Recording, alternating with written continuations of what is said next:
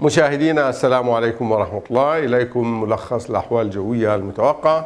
ارتفاع واضح على درجات الحرارة خلال الأيام القليلة القادمة وبحيث يكون الطقس حار إلى شديد الحرارة نهارا لكن بيكون معتدل إلى لطيف ليلا. مشاهدينا فاصل ونواصل. النشرة الجوية تأتيكم بالاشتراك مع مشاهدينا أهلا وسهلا بكم مرة أخرى على الخرائط التي تمثل درجات الحرارة. نلاحظ أن المملكة ستكون تحت تأثير كتلة هوائية حارة وجافة تؤثر على المملكة خلال الأيام القليلة القادمة وبالتالي يكون الجو حار إلى شديد الحرارة في معظم مناطق المملكة.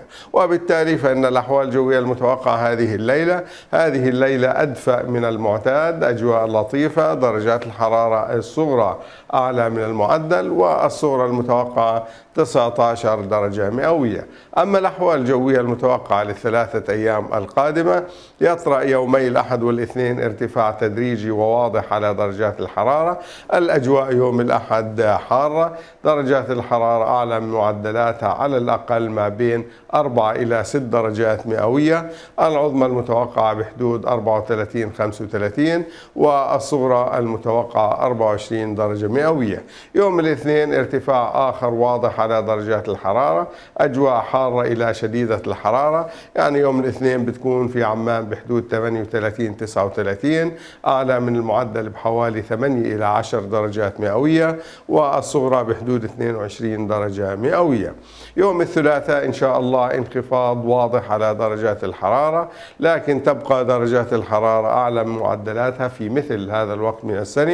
وبتكون الأجواء حارة نسبيا تقريبا والعظمى المتوقعة بحدود 33 درجة مئوية والصغرى بحدود 21 درجة مئوية. أما الأحوال الجوية وكذلك درجات الحرارة العظمى والصغرى المتوقعة نبدأ في المناطق الشمالية. إربد العظمى 36 والصغرى 24 عجلون 35 إلى 23 جرش 37 إلى 25 والمفرق 36 إلى 23 أجواء حارة في معظم مناطق المملكة.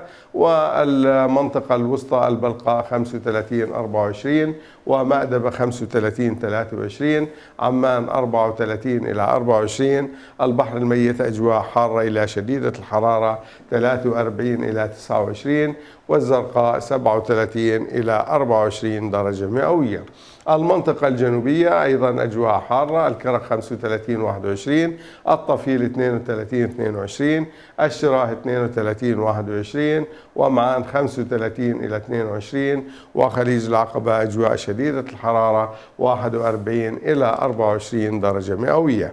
أما المنطقة الشرقية أجواء حارة الأزرق 38 إلى 25 الصفاوي 37 إلى 24 وأرويشد 36 إلى 22 درجة مئوية. أما التوصيات والتنبيهات إزاء هذه الأحوال الجوية المتوقعة فأول شيء ينصح بعدم التعرض لأشعة الشمس لفترة طويلة.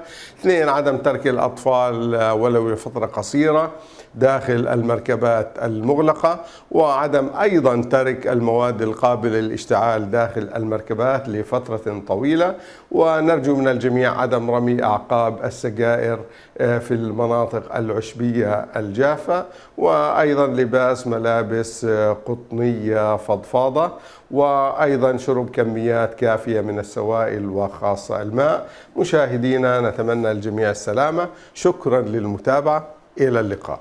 النشرة الجوية. تأتيكم بالاشتراك مع